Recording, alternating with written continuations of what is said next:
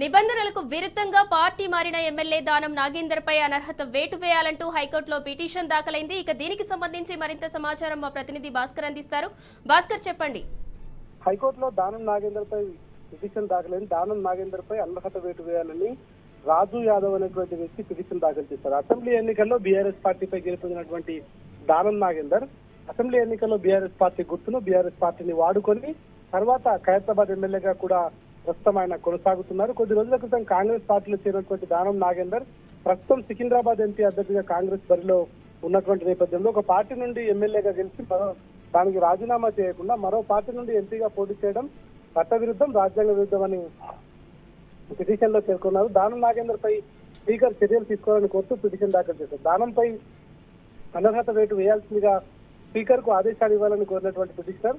ఈ సందర్భంగా చాలా కీలక అంశాలు చెప్పుకొచ్చారు రాజ్యాంగంలో ఉన్నటువంటి అన్ని నిబంధనలకు విరుద్ధంగా ఆయన ప్రజాస్వామ్యబద్ధంగా రాజ- ఎన్నికల్లో పోటీ చేసి ఆయన గెలుపొంది ఒక పార్టీ గుర్తు మీద ఆయన శాసనసభ్యునిగా ఎన్నికైన తర్వాత ఇక్కడ ఆ పార్టీకి రాజీనామా చేయకుండా కేవలం రాజకీయ లబ్ధి కోసం మరో పార్టీలో చేరి ఆ పార్టీ ఎమ్మెల్యే ఎంపీగా పోటీ చేస్తూ ఒకవేళ దాంట్లో ఓడిపోతే మళ్ళీ శాసనసభ్యత్వాన్ని కొనసాగించేందుకు అన్ని రకాల కుట్రలతో ఆయన ఉన్నాడు కాబట్టి రాజ్యాంగబద్ధంగా ప్రసాదించబడ్డటువంటి హక్కు ఏదైతే ఉందో అది దానికి విరుద్ధంగా ఆయన వ్యవహరిస్తున్నాడు కాబట్టి దీనిపైన పూర్తి స్థాయిలో స్పీకర్కు అనర్హత వేటు వేయాల్సిందిగా ఆదేశాలు ఇవ్వాలని పిటిషన్ దాఖలు చేశారు. ఈ పిటిషన్ పూర్తి స్థాయిలో విచారించిన తర్వాత దీనిపైన చర్యలు తీసుకోవాల్సిందిగా పిటిషన్ ఆ పిటిషన్లో పేర్కొన్నారు. దీనిపైన రేపు హైకోర్టులో విచారణ జరిగే అవకాశం కనిపిస్తా ఉంది ఇవాళ పిటిషన్ అడ్మిట్ అయింది.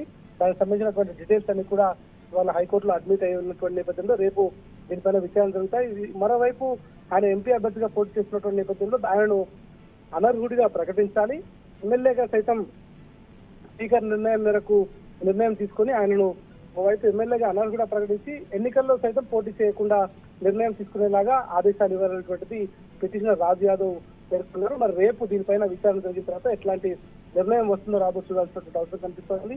చాలా క్లియర్గా రాజ్యాంగంలో ప్రజాస్వామ్యబద్ధంగా ఏర్పడినటువంటి ఒక ఎమ్మెల్యే ఆ ఎమ్మెల్యే పదవికి రాజీనామా చేయకుండా ఒక పార్టీ కండువాతో ఒక పార్టీ గుర్తుతో గెలిచి మరో పార్టీలోకి వెళ్ళడం ఆ పార్టీ తరఫున మరో ప్లేస్ నుంచి ఆయన ఎన్నికల్లో పోటీ చేయడం ఇది పూర్తిగా అసంబద్ధం. ఇది పూర్తిగా అసంకమైనటువంటి మాత్రం ఆయన పిటిషన్లో చాలా స్పష్టంగా పేర్కొనడం జరిగింది. రేపు దీనిపైన విచారణ జరిగిన తర్వాత పూర్తి స్థాయిలో దీనిపైన క్లారిటీ వచ్చే అవకాశం అయితే కనిపిస్తుంది Sindhura. Right thank you Bhaskar